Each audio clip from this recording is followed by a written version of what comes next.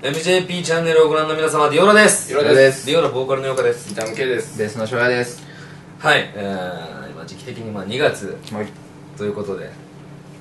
まあ欠かせないのがバレンタインデーじゃないですか。チョコ。バレンタインチョコ、いろいろ思い出してきてる今バレンタインの話。うん。思い出してきてる。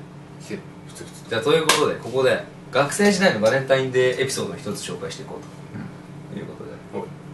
俺翔也も知ってんだ。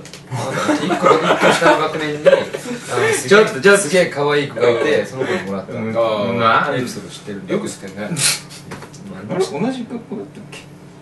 いやあの俺福福妻の。福妻の。福妻のあの中高と出てるんで。ダメじゃんもう。でケイちゃん俺俺ねでも小学校の頃かな、うん。小学校の頃にあの、まあ、好きだった子両思いだった子がいて、うん。その子にチョコをもらったんだけどなんかねすごいの。中のチョコは市販なんだけど、うん。外の入れ物をねなんか手作りでこう布を編んで作ってくれてケースだ。そうそうそう。で、えーこれあげるっつってもらったの。うわありがとうっつって開けようと思ったら全部きちっと縫ってあったね。あの4 つ。開けられないの？そう。あれこれどっから開けるの？と思って全部ちゃんとこう丁寧に。そう。だからハサミでその糸をああっていうね。そうだね。食べられないもんね。そういう思い出があります。そうよ。さっき言われたわ。で なんかまだでしょ。まだ。うん。でそれこそ本当あれだよね。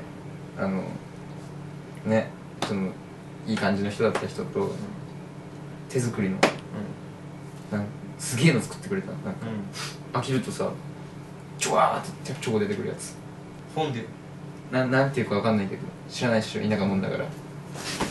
えめこれは何つった陽香さんは？俺はねあんまりねないんですけどでもすげえじゃあ極悪ひどなエピソードで。これ一個まこれをね言っても本当引かないでほしい。あのひどい俺がひどかった頃の話だから、チョコレートねもらったの。手作りで、ただなんかね俺がね食べれなさそうな見た目だったの食べれなさそうな見た目。食べれなさそうな見た目だった。の あと匂い。うん。うん高級なやつちょっと。おお多分そうだったのかもしれないんだけど、いや違うな。作ったらしい。あそれどうしてもダメで食べませんでした。ーどうした？どうしたの？それ。ポイすなわち。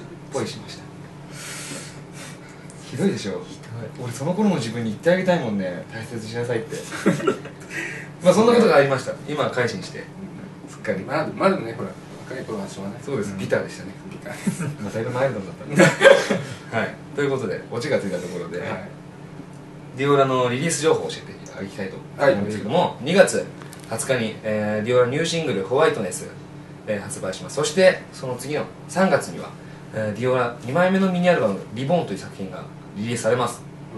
どちらも本当に もう自信を持ってお届けする、えー作品になっておりますのでぜひ手に入れて聴いてみてください。ということで以上ディオラでした。ホワイトネスの PV を。うん。どうぞ